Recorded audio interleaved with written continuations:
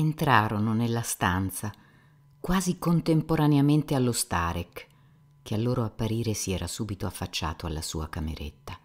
Nella cella si trovavano già due religiosi dell'eremo che aspettavano che lo Starek uscisse. Uno era il padre bibliotecario, l'altro il padre Paisi, un uomo malato, non ancora vecchio, ma molto erudito, secondo quel che si diceva. In piedi, da una parte, e vi rimase poi tutto il tempo, c'era inoltre un giovanotto in soprabito borghese che dall'aspetto poteva avere 22 anni, un seminarista e futuro teologo, protetto per qualche ragione dal monastero e dall'ordine. Era abbastanza alto, aveva un viso fresco, larghi zigomi e piccoli occhi castani, intelligenti e svegli. Il suo volto esprimeva una deferenza profonda ma dignitosa, senza alcun servilismo. All'ingresso degli ospiti non si inchinò neppure come se non si considerasse un loro pari, ma inferiore e dipendente. Lo Starek Zosima si presentò accompagnato da un novizio e da Alyosha. I religiosi si alzarono e lo salutarono con un profondissimo inchino fino a sfiorare il pavimento con le dita. Quindi, ricevuta la sua benedizione, gli baciarono la mano. Dopo averli benedetti, lo Starek rispose a ciascuno dei due con un inchino altrettanto profondo anche lui, fino a toccare il pavimento con le dita e chiese a ciascuno a sua volta la benedizione. Tutta questa cerimonia si svolse in modo molto solenne, ben diverso da una qualunque formalità quotidiana, ma quasi con una certa commozione. A Miusov, però, sembrò che tutto ciò fosse fatto con l'intento di suggestionare i presenti. Egli si trovava lì in piedi, davanti a tutti i compagni con cui era entrato.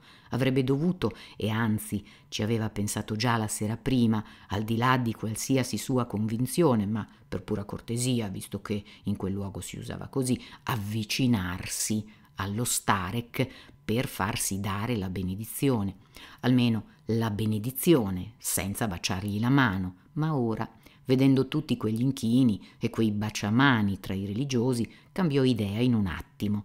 Grave e compunto, fece un inchino abbastanza profondo come era in uso in società e si diresse verso una sedia. Allo stesso modo si comportò Fyodor Pavlovich, imitando punto per punto Mniusov come una scimmia. Ivan Fyodorovich si inchinò con molta serietà e correttezza, ma anche lui tenne le braccia lungo i fianchi. Quanto a Kalganov, si confuse a tal punto che non si inchinò affatto. Lo Starek lasciò cadere la mano che già si alzava per benedire e fatto loro un altro inchino, li pregò tutti di sedersi. Il sangue affluì alle guance di Alyosha, la vergogna lo invase, i suoi tristi presentimenti si stavano avverando. Lo Starek si sedette sopra un divanetto di mogano rivestito in pelle di foggia molto antiquata, mentre fece accomodare gli ospiti, fatta eccezione per i due religiosi, lungo la parete di fronte, tutti e quattro in fila, ma su quattro sedie di mogano ricoperte da un cuoio nero assai logoro. I religiosi sedettero ai lati, uno vicino alla porta, l'altro accanto alla finestra. Il seminarista, Alyosha e il novizio restarono in piedi. La cella non era molto spaziosa e aveva un aspetto misero. Gli arredi e i mobili erano grezzi, di scarso valore e limitati allo stretto necessario. Due vasi di fiori sulla finestra e in un angolo molte icone, tra le quali una della Vergine di enormi dimensioni e dipinta probabilmente molto tempo prima dello scisma. Davanti ad essa ardeva un piccolo lume.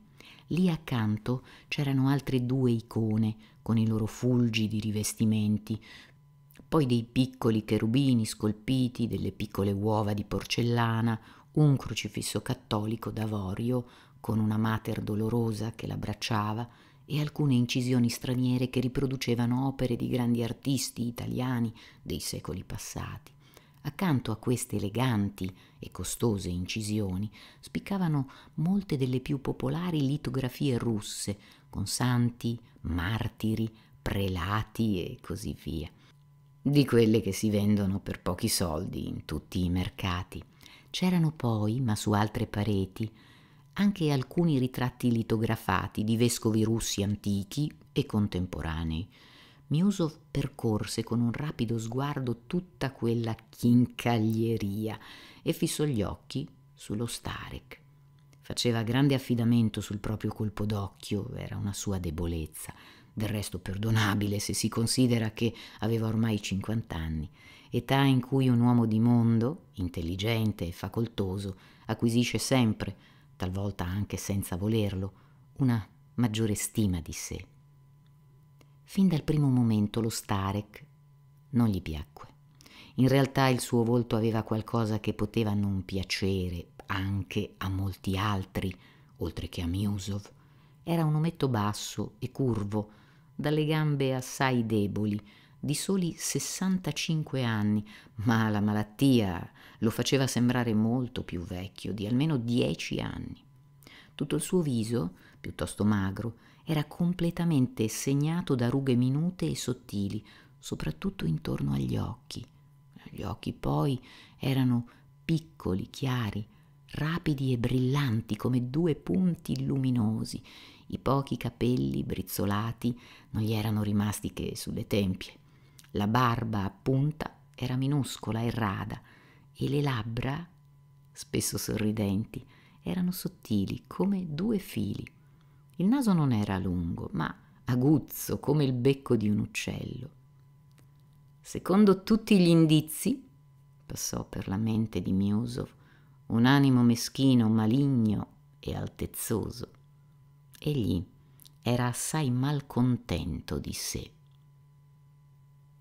I rintocchi dell'orologio aiutarono l'inizio della conversazione.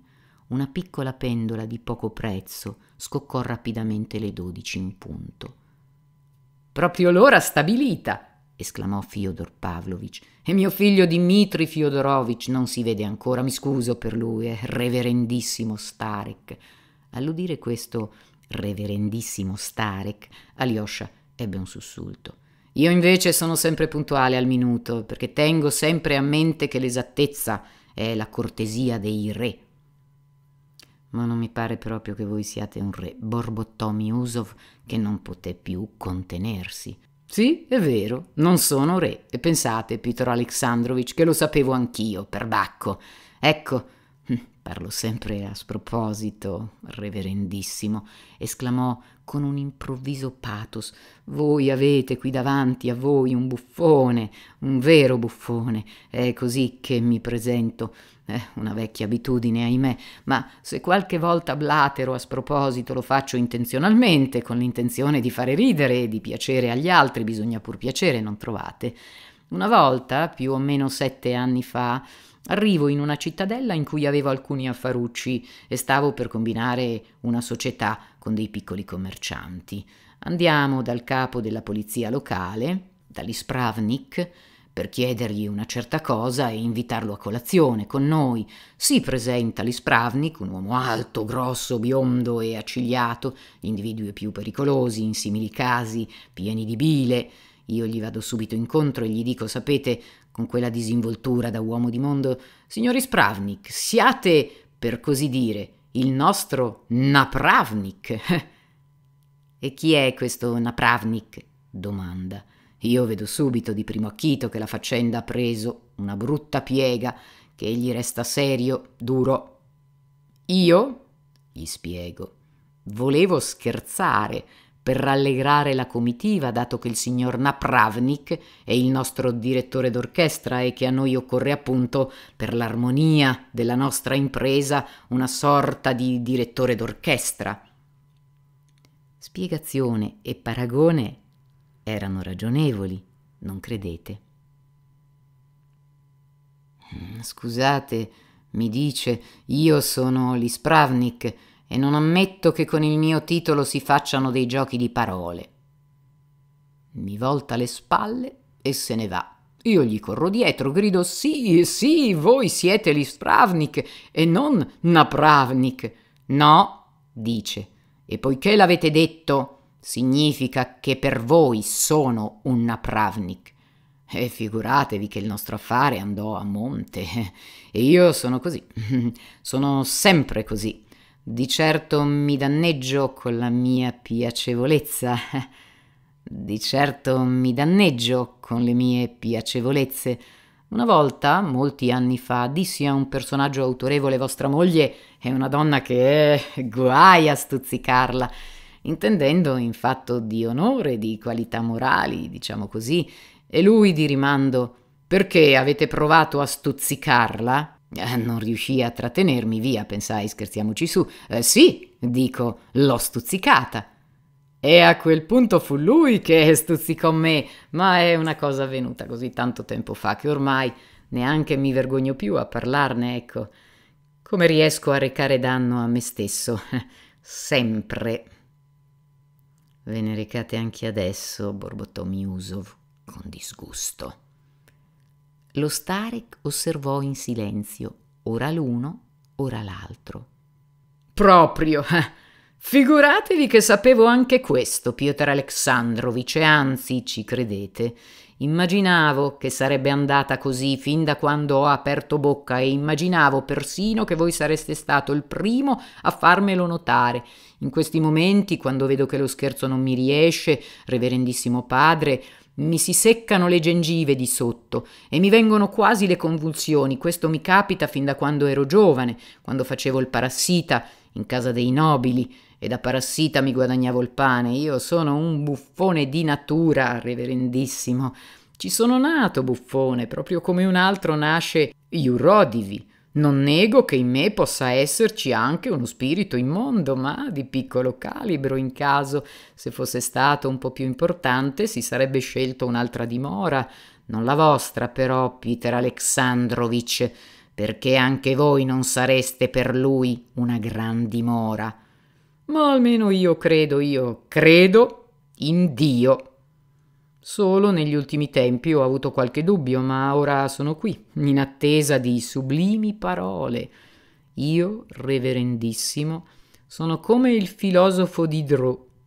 Lo sapete, Santissimo Padre, come si presentò il filosofo Diderot al metropolita Platon al tempo dell'imperatrice Caterina?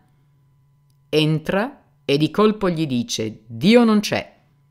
Al che il grande prelato solleva il dito e risponde Lo stolto ha detto in cuor suo non c'è Dio. E quello di colpo si getta ai suoi piedi. Credo, grida, e voglio ricevere il battesimo, e fu subito battezzato. Lì, sul posto, la principessa Dascova fu la madrina e Potiomkin il padrino. Fyodor Pavlovich, questo è intollerabile. Sapete benissimo che mentite, che questo stupido aneddoto è falso. Perché fate il pagliaccio? esclamò con voce tremante Miusov, ormai incapace di trattenersi ancora. Ah! Per tutta la vita ho avuto il presentimento che fosse una menzogna, esclamò Fyodor Pavlovich con fervore. Ma vi dirò tutta la verità, signori, nobile stare, perdonatemi.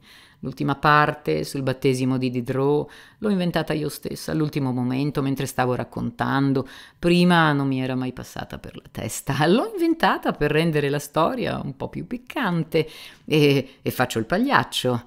Eh, Piotr Alexandrovich per essere più simpatico. Qualche volta del resto neanch'io so il perché. Quanto a Diderot, tuttavia, ho sentito quel lo stolto addetto almeno una ventina di volte dai possidenti di qui, fin da quando ero giovane e frequentavo le loro case.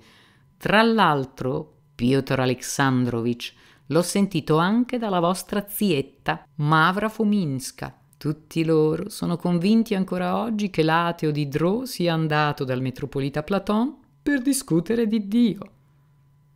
Miusov si alzò. Non solo aveva perso la pazienza, ma ormai era quasi fuori di sé. Era furioso e sapeva perfettamente che così si rendeva ridicolo. In realtà nella cella stava accadendo qualcosa di inaudito.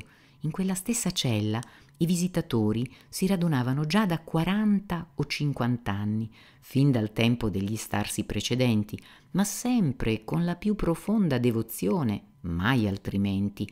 Quasi tutti quelli che vi erano ammessi comprendevano, entrando nella cella, che si accordava loro un enorme favore. Molti cadevano in ginocchio e non si alzavano per tutta la durata della visita. Anche i numerosi personaggi delle elite sociali o culturali e persino alcuni liberi pensatori che venivano per curiosità o per altri motivi si prefiggevano tutti come primo dovere, entrando nella cella con altri o ricevendo un colloquio individuale, di avere per lo Starek la massima deferenza e delicatezza durante l'intera visita, tanto più che qui non c'era di mezzo il danaro, ma solo amore e misericordia da una parte e dall'altra pentimento e ansia di risolvere qualche arduo problema spirituale o un momento difficile della propria vita privata. Tutte queste buffonerie di Fyodor Pavlovich, quindi, prive di ogni rispetto per il luogo in cui si trovava, suscitarono nei presenti, o almeno in alcuni di essi, sconcerto e stupore. I due religiosi, la cui espressione non era in alcun modo mutata, attendevano seri ed attenti che lo Starek parlasse, ma sembravano già in procinto di alzarsi come aveva fatto Miusov.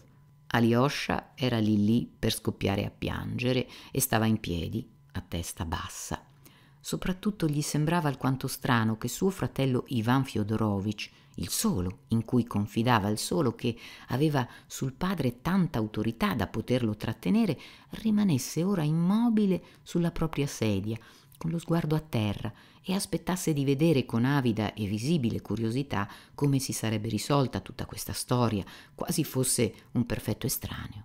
Alyosha non aveva neanche il coraggio di guardare Rakitin, il seminarista, con cui era in rapporti molto stretti, conosceva bene i suoi pensieri ed era il solo in tutto il monastero a conoscerli. Perdonatemi, cominciò Miuso rivolgendosi allo Starek. Forse vi potrà sembrare che anch'io sia complice di questa indegna buffonata. Il mio errore consiste nell'avere pensato che anche un essere come Fyodor Pavlovich, facendo visita a una persona tanto rispettabile, avrebbe voluto capire i suoi doveri. Non immaginavo certo che avrei dovuto chiedere scusa per il semplice fatto di essere venuto qui con lui. Peter Alexandrovich non terminò la frase e, tutto confuso, stava già per uscire dalla stanza. Non vi agitate, vi prego. E lo Starek si alzò a un tratto dal posto sulle sue deboli gambe e prendendo Piotr Alexandrovich per le mani, lo fece di nuovo sedere sulla poltrona. Tranquillizzatevi, ve ne prego. Vi prego vivamente di onorarmi della vostra presenza. E con un inchino si voltò per tornare sul suo divanetto. Venerando Starek, ditemi, vi offendo forse con la mia esuberanza esclamò a un tratto Fyodor Pavlovich, aggrappandosi con entrambe le mani ai braccioli della poltrona come se si preparasse a saltar su a seconda della risposta. Prego vivamente anche voi di non agitarvi e di non sentirvi a disagio, gli rispose lo Starek con accento penetrante. Fate come se foste a casa vostra, ma soprattutto non vergognatevi tanto di voi stesso, perché Solo questa è la fonte di tutto. Proprio come a casa mia, cioè nel mio aspetto naturale. Oh, questo è molto, è troppo, ma accetto, commosso, sapete, padre benedetto. Non mi invitate ad assumere il mio aspetto naturale, non correte questo rischio, neanch'io arriverei mai al punto di mostrarmi al naturale. Ve lo dico per mettervi in guardia, beh, tutto il resto è ancora immerso nelle tenebre dell'ignoto, sebbene alcuni abbiano già voluto dipingere il mio ritratto. Mm, questa è per voi, Peter Alexandrovich, ma a voi, santissima creatura, ecco cosa dico, io sono colmo di esultanza. Egli si alzò e sollevando le braccia disse Beato il grembo che ti portò e le mammelle che ti allattarono, le mammelle soprattutto, con la vostra osservazione di poco fa. Non vergognatevi tanto di voi stesso perché solo questa è la fonte di tutto. Voi mi avete come passato da parte a parte, mi avete letto dentro, Infatti, quando vado da qualcuno mi sembra sempre di essere il più miserabile di tutti e che tutti mi prendano per un buffone e quindi mi dico, allora facciamo davvero il buffone? Io non temo i vostri giudizi perché voi tutti siete più stupidi e, e più miserabili di me, dal primo all'ultimo. Ed ecco perché sono un buffone. Sono un buffone per vergogna, venerando Starek, per vergogna. È solo per diffidenza che faccio lo spavaldo. Se solo fossi certo, sapete, che quando mi presento siano tutti pronti ad accogliermi subito come una persona intelligente, simpatica. Dio, ah, come sarei buono allora, maestro. Di colpo si buttò in ginocchio. Che devo fare per assicurarmi la vita eterna? Anche adesso era difficile capire se scherzasse o se fosse realmente così, commosso. Lo Starek alzò gli occhi su di lui e con un sorriso gli disse Voi stesso sapete da molto tempo che cosa dovete fare. L'intelligenza non vi manca. Non abbandonatevi all'ubriachezza e alla sguaiataggine. Non abbandonatevi alla lussuria e specialmente all'adorazione del danaro e chiudete le vostre bettole, se non tutte, almeno due o tre, ma soprattutto la cosa più importante è che non mentiate. Ah, questo a proposito di Diderot, vero? No, non a proposito di Diderot. L'importante è che non mentiate a voi stesso.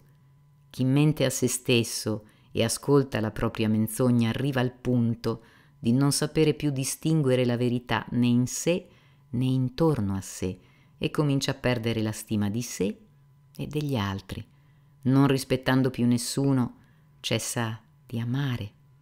E così, privo di amore, per trovare qualcosa che lo tenga occupato e distratto, si abbandona alle passioni e ai piaceri grossolani e si spinge nei suoi vizi fino alla bestialità e tutto per le continue menzogne che racconta agli altri e a se stesso. Chi mente a se stesso è anche il più suscettibile alle offese. A volte è molto piacevole offendersi, non è vero? Eppure quest'uomo sa bene che nessuno lo ha offeso, che egli stesso si è inventato un affronto e ha mentito per farsi bello per ravvivare le tinte del dipinto, che si è attaccato alle parole e di un granello di sabbia ha fatto una montagna. Egli lo sa bene, e tuttavia è il primo ad offendersi, e si offende fino a prenderci gusto, fino a trarne la massima soddisfazione, e in questo modo arriva al rancore vero e proprio. Ma alzatevi da terra, tornate a sedere ve ne supplico, anche questi sono gesti insinceri. Uomo benedetto, lasciate che vi baci la mano. E Fyodor Pavlovich balzò su e fece rapidamente schioccare le labbra sulla mano scarna dello Starek. È vero, è proprio così, è piacevole offendersi. Eh, voi l'avete detto così bene, come ancora non mi era mai capitato di sentire, proprio così, proprio così. In tutta la mia vita mi sono sempre offeso fino a provarne piacere, eh, mi sono offeso per un senso estetico, perché l'essere offeso non solo è piacevole, ma a volte anche bello. Ecco una cosa di cui vi siete scordato, venerando Starek. Bello, lo annoterò sul taccuino. E ho mentito. Ho mentito per tutta la vita, ogni giorno e ogni ora. In verità io sono la menzogna e il padre della menzogna. No, mm, forse non il padre, mi confondo sempre con i testi. Beh, anche il figlio della menzogna eh, gli sarebbe sufficiente. Però, angelo mio, qualche volta si può anche parlare di Diderot. Diderot non fa male a nessuno, sono altre le parole che possono nuocere. A proposito, venerando Starek, quasi dimenticavo. Già tre anni fa mi ero proposto di informarmi, di venire qui a indagare, a chiedervi una spiegazione. Dite solo a Peter Alexandrovich di non interrompermi. Mm. Ecco cosa vi voglio domandare. È vero, Padre Santo, quel che si racconta... Ah, dite solo a Peter Alexandrovich di non interrompermi. Ecco cosa vi voglio domandare. È vero, Padre Santo, quel che si racconta in un passo del menologio di un certo santo taumaturgo martire per la fede che dopo essere stato decapitato si alzò, raccolse la sua testa, la baciò con amore e camminò a lungo sempre portandola tra le mani e, e baciandola con amore. È vero o no, padri venerandi? No, non è vero, disse lo Starek. Nulla di simile esiste in nessun menologio. Dite, di che santo si racconta tutto ciò? domandò uno dei religiosi, il padre bibliotecario. Oh, di quale? Non lo so neanch'io, non lo so, eh, non ne ho idea. Mi hanno indotto in errore, me l'hanno riferito. L'ho sentito raccontare. E sapete da chi? Da questo stesso Peter Alexandrovich Miusov, che un momento fa è andato su tutte le furie per Diderot Fu lui a raccontarlo. Io non vi ho mai raccontato una cosa simile, poi con voi non parlo mai. Ah, è vero, non lo raccontaste a me, lo raccontaste in una compagnia nella quale mi trovavo anch'io, quattro anni fa. E se l'ho tenuto a mente è perché con questo racconto grottesco voi avete scosso la mia fede, Peter Alexandrovich. Voi non potevate saperlo né supporlo, ma io tornai a casa con la fede vacillante. E da allora ho vacillato sempre più, sì, Peter Alexandrovich, voi siete stato la causa di una grande caduta, altro che di Drò. Fyodor Pavlovich aveva assunto un ardore patetico, benché tutti ormai capissero chiaramente che stava di nuovo recitando. Miusov, però, era stato punto sul vivo. Mm, sciocchezze, nient'altro che sciocchezze, borbottò. Può darsi che una volta l'abbia detto davvero, ma non a voi. Anche a me è stato riferito, ne ho sentito parlare a Parigi da un francese, sosteneva che da noi si leggerebbe questo passo nel menologio durante la messa. Era un uomo di grande cultura, specializzato soprattutto nello studio delle statistiche russe. Aveva vissuto a lungo in Russia. Quanto a me, il menologio non l'ho letto né lo leggerò mai. E poi a pranzo si dicono tante cose. E noi quella volta pranzavamo. Già. Voi quella volta pranzavate, mentre io ho perso la fede, commentò sarcastico Fyodor Pavlovich. Ma che me ne importa della vostra fede? stava per gridare Miusov, ma si trattenne subito, dicendo con disprezzo: Voi letteralmente insudiciate tutto ciò che toccate. Lo Starek si levò all'improvviso dal suo posto. Scusate, signori, se ora vi lascio per pochi minuti, disse rivolgendosi a tutti i visitatori, ma eh, mi aspettano delle persone giunte ancora prima di voi. Voi però eh, non mentite, aggiunse voltandosi con viso gaio verso Fyodor Pavlovich. Egli uscì dalla cella. Alyosha e il novizio si precipitarono per fargli scendere la scala. Alyosha si sentiva soffocare, era felice di uscire, ma era anche felice che lo Starek, per nulla offeso, fosse di buon umore. Lo Starek si diresse verso la veranda per benedire quanti lo attendevano. Ma Fyodor Pavlovich, tuttavia, lo fermò sulla porta della cella. Creatura beatissima, esclamò con sentimento, permettetemi di baciarvi ancora una volta la mano. Con voi si può ancora parlare, si può vivere. Credete che io menta sempre o faccia sempre il buffone a questo modo? Sappiate che finora mi sono presentato così di proposito, per mettervi alla prova. Finora non ho fatto altro che tastare il terreno per vedere se con voi si può vivere, se c'è posto per la mia umiltà accanto alla vostra fierezza. Ora vi lascio un attestato di lode, con voi si può vivere. E adesso taccio, non parlo più, rimarrò seduto sulla poltrona in silenzio adesso. A voi la parola. Peter Alexandrovich, siete voi ora il personaggio più importante. Per dieci minuti